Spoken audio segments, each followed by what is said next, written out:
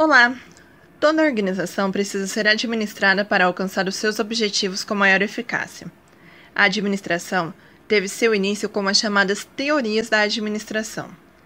Cada teoria nasceu de um problema relevante da época, e tais teorias ajudaram nas soluções desses problemas.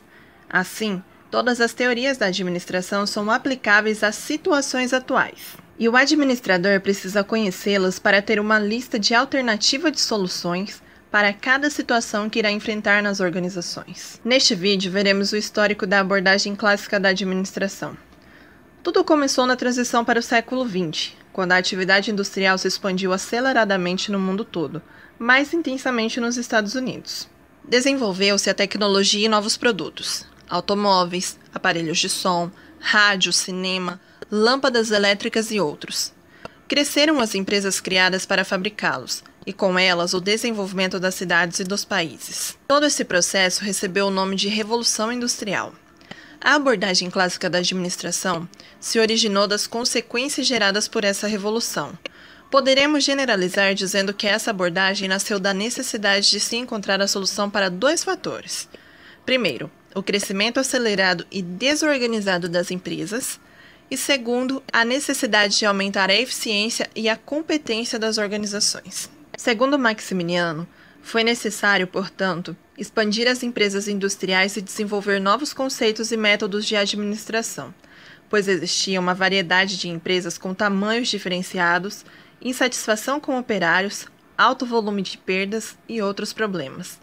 Então, com a preocupação de aumentar a eficiência da indústria pela racionalização do trabalho operário, nasceu nos Estados Unidos o movimento da administração científica com Taylor e na França a teoria clássica da administração com Fayol. A teoria clássica da administração se preocupava em aumentar a eficiência da empresa por meio de sua organização e aplicação dos princípios gerais de administração.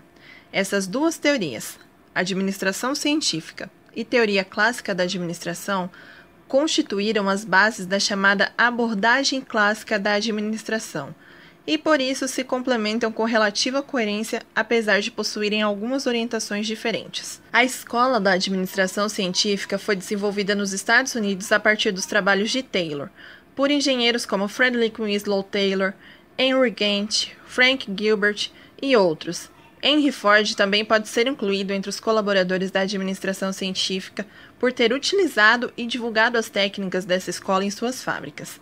A corrente dos anatomistas, estrutura e fisiologistas, funcionamento da organização desenvolvida na França, com os trabalhos pioneiros de Fayol, foi chamada de teoria clássica.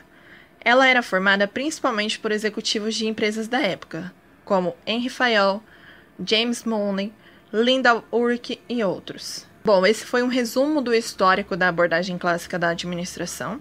Eu espero que vocês tenham gostado e até o próximo vídeo do canal.